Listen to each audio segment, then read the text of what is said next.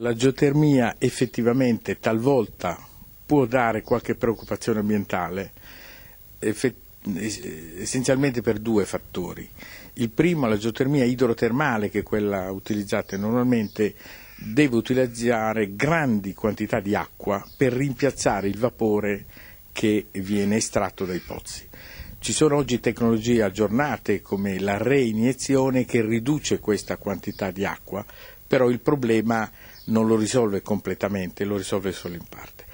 Il secondo fatto è, è più tecnico, eh, quando il vapore esce dalle profondità del suolo, come dico io, lava le rocce e le rocce del suolo che sono lì da milioni di anni e quindi hanno raccolto milioni di tonnellate di residui, eh, alcuni di questi residui non sono per noi accettabili, quindi quando il, il vapore esce in superficie si trascina con sé un'infinità di componenti anche non accettabili. Inoltre eh, l'acqua profonda eh, in profondità ehm, tenuta ad alta temperatura contiene dei gas eh, che uscendo eh, in, in, in, superficie eh, si rilasciano ne, nell'atmosfera. Tutta questa serie di fattori talvolta dà degli effetti che alle popolazioni locali mh, non, non sono molto graditi. Quindi Oggi la geotermia idrotermale è guardata con una certa attenzione dalle popolazioni e quindi le aziende che si occupano di questo fanno di tutto per tentare di superarlo. Però dal nostro punto di vista come Politecnico di Milano noi vediamo che eh, potrebbe essere ottimale un, un approccio completamente diverso. Quindi eliminare completamente qualunque contatto del fluido dei, dei fluidi che sono eh, in profondità con il sistema eh, che poi andrà all'esterno. Che cosa intendo dire?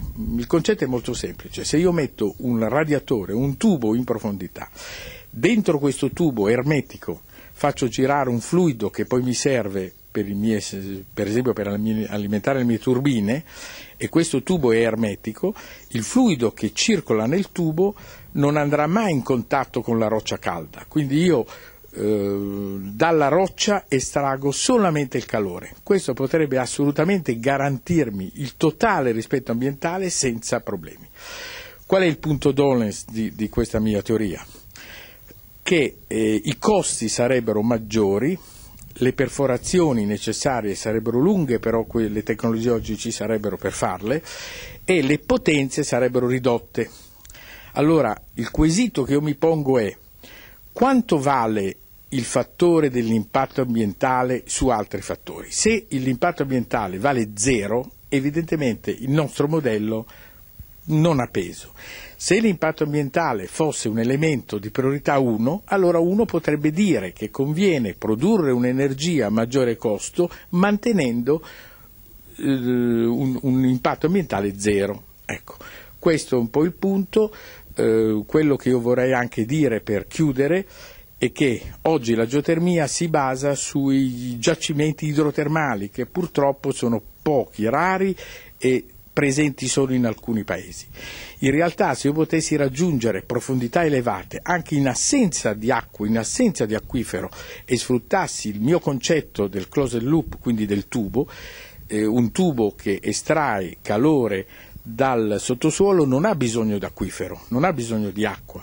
Quindi questo amplierebbe enormemente le fonti energetiche potenziali eh, presenti in tutto il mondo, in ogni punto, l'unica variabile sarebbe la profondità, ma questa potrebbe essere superata da tecnologie eh, a costi eh, decrescenti che possono permettere lo sfruttamento. In un'ottica del genere io, forse un po' ottimisticamente, ma è da molti anni che ci crediamo, riteniamo la geotermia una fonte oggi un po' trascurata per tutta una serie di considerazioni, potrebbe invece diventare una fonte primaria con enormi quantità di, di, di, energia tratta nel completo rispetto ambientale. Quando noi parliamo di impatto ambientale la maggioranza dei riferimenti sono presi dall'inquinamento. ma a nostro avviso c'è un altro impatto ambientale che, che è molto presente, che è l'impatto estetico. Facciamo un esempio. Se io devo fare una centrale di fotovoltaico, io devo prendere un campo magari in una zona di particolare interesse oppure eliminare dei, dei campi di grano e devo mettere dei pannelli. Quindi io utilizzo delle superfici per fini eh, per produzione di, di, elettricità. La stessa cosa delle pale eoliche che se io non le, vedo, non le, vado a porre in una zona accettabile esteticamente mi può dare un danno ambientale, questo credo che ormai è un punto assodato. Il punto della geotermia, che come eh, avevo accennato, il vantaggio della geotermia rispetto al fotovoltaico e all'eolico che ha, ha, una continuità giorno e notte e quindi la produzione di energia rapportato all'eolico e al fotovoltaico può essere fatta di 1 a 5, quindi un impianto geotermico di pari potenza produce 5 volte la eh, potenza eh, di un impianto eh, di, di, di, fotovoltaico o, o eolico eolico perché continuo, mentre invece l'eolico è pulsante e il fotovoltaico è, eh, dalla, di notte non funziona, eccetera.